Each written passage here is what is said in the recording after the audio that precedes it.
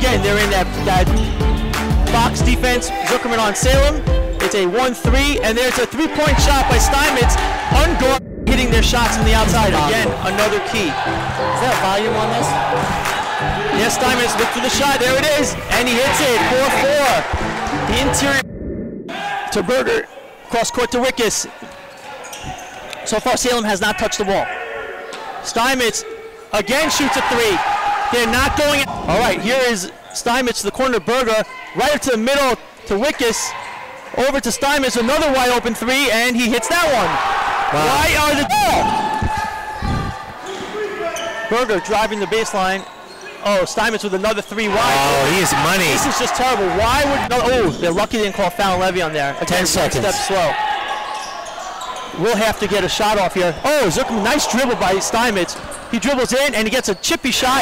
Steinmetz is killing them off the dribble tonight. See if they can get the- Steinmetz guarded by Zuckerman. He went for the ball fake. Uh-huh. Steinmetz, that's a short shot, but it rattles in. He's going to hit that eight out of